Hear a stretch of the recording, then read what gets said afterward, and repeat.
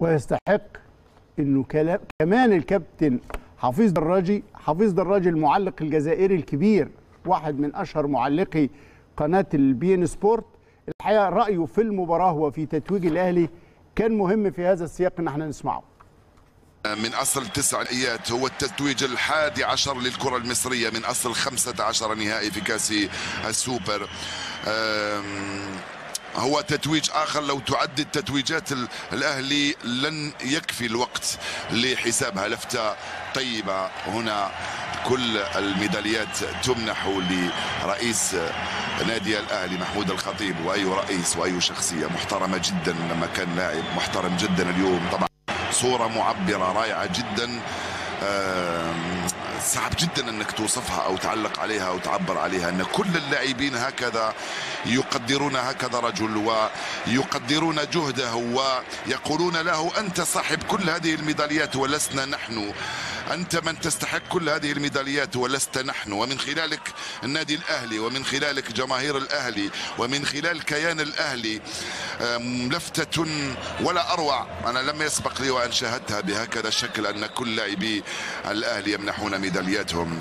عرقهم وعرق جبينهم طبعا آه، لرئيسهم آه، سيد محمود الخطيب الذي نحييه بألف تحية طبعا. آه، كنت أتحدث عن الأهلي صاحب تسع تتويجات بدوري أبطال إفريقيا أربعة بكأس الكؤوس وواحدة بكأس الكاف وسبعة بكأس السوبر 42 لقب دوري 33 لقب كأس 11 كأس السوبر في مصر. اللحظات الآن لحظات التتويج بكأس السوبر التاسع والعشرين.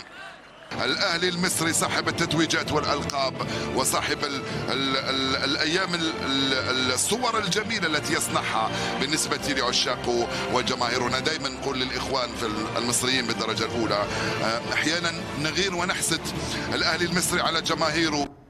منافسة عربية من قمم عربية في التعليق في الإعلام آه، كلها تشعرك بمدى الاحترام الذي آه، يعني يكون هؤلاء آه، العمالقة الحقيقة للنادي الأهلي والتباري اللفظي كل واحد بطريقته. حتى شوف حفيظ دراجي وهو يتحدث عن الأهلي وعن الكابتن محمود الخطيب وعن آه، طبعا الس- ال- اللفتة الغير مسبوقة اللي بتصدر معاني قول ولا حرج على كل مستويات وأعتقد إنها هتبقى في ذاكرة التاريخ الكروي على مستوى العالم آه، الاهلي يقدم مثل هذا النموذج ويحظى بمثل هذا الاحترام.